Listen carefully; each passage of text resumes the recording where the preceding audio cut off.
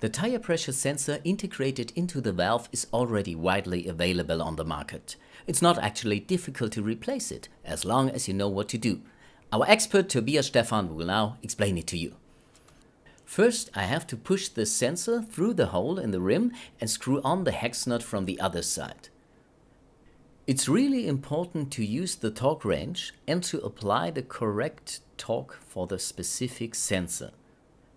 It's also important to make sure that the sensor housing is lying flat against the rim surface and is not up in the air or fitted crooked. When servicing an existing sensor, it's of course very important to follow the proper removal sequence.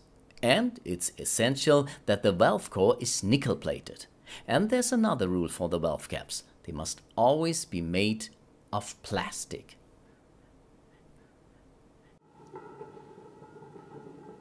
Hang on, there is of course one more important final thing. Performing a vehicle relearn with the sensors. For example, using a VDO diagnostic unit.